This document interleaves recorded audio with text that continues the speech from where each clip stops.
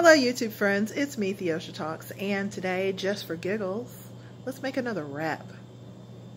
There's a sun-dried tomato tortilla from my local Aldi store. And this is my omelet egg, I don't know, just a flat round egg situation that I'm going to put on top of the tortilla. Okay, there's that. And then I've got some leftover sour cream and guac that I'm going to spread on here as well. I also have cheese wraps. Now, I guess these are supposed to be like, I don't know, you just put the cheese stuff in the cheese and eat it, but I use it to put on my wraps because it's a round piece of cheese. All right, so we've got three slices of the Johnsonville sausage slices. I guess I'm gonna put them this way because it's a wrap. There's that. And now we're gonna add on some pepper rings, one grilled green onion.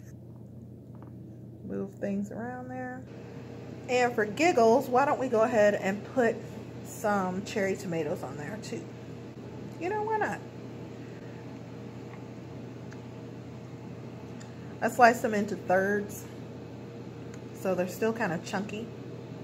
But I don't know how all of this is going to stay in the wrap, but you know, we'll we'll cross that bridge when we get to it.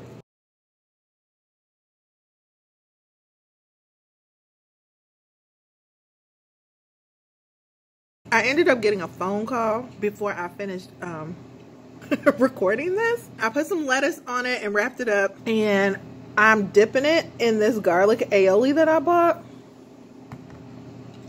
This wrap. When I say it's talking about something, it's talking about something. It's so good. The sausage strips remind you of bacon. They're crisp enough like bacon, but it is kind of like a meatier bacon. I did a video on it. So, you know, be sure to watch that. And if you want my review of it or me cooking it for the first time, whatever, it doesn't matter. So this is me using up the pack, y'all. But yeah, I put three slices on this wrap.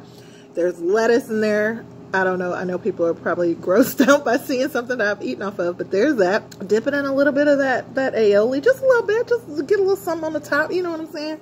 And then, you know, just, you know, just eat it. Um, it's good. I gotta go. I'll talk to y'all later. Bye.